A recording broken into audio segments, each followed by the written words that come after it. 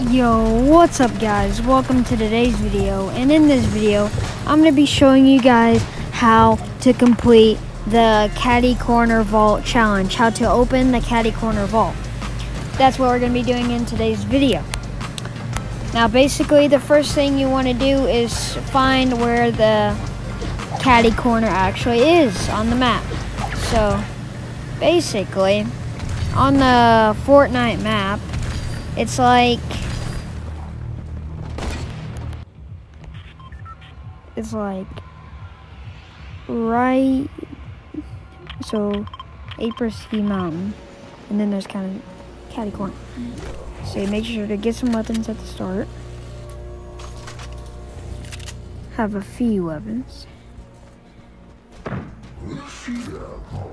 And then you just get some ammo and then you need some because the uh, kit bashers start shooting you as soon as you move. Uh, people are throwing grenades at me and stuff.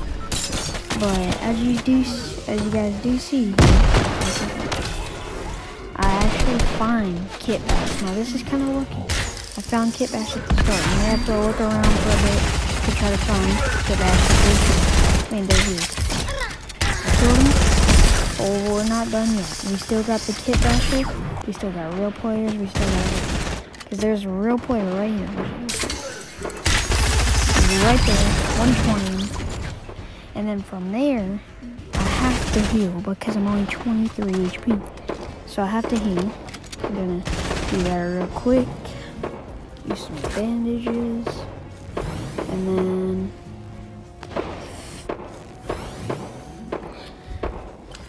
And then we're gonna use my big pot just because we have no minis with us handy.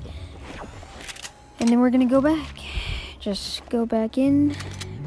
We're gonna go get Kit's weapons and the vault key card. And we will be entering the vault in a few seconds. A few more kit bashes, henchmen. And then, okay, so we got the mythic weapons, we got the uh, vault key card. Try not to get shot. I'd have no max, so to find out over here. And then um, we can't build that. So there's a guy there. So okay, guys, we got into the vault. That was basically how you do it. And yeah. And that is it for today's video. If this video helped you out, make sure to like and subscribe. And and I'm out. Peace.